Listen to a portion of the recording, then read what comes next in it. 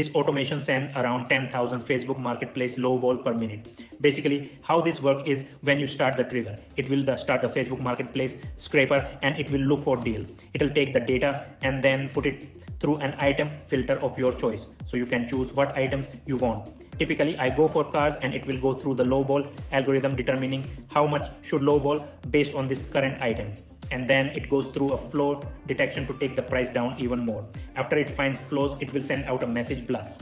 Then it goes to the relentless negotiation engine where it will ruthlessly chat with people to get the best deal possible. Usually at this point, people ghost us, so we will put it through the follow-up new. This will send around 15 follow-ups. I put all the leads into the CRM. Then it will go to a value calculator if it determines that you get a deal and then it will execute the purchase. This is great because I don't have to spend manual labor. If you want this workflow, just comment Facebook and then I'll send you this marketplace workflow.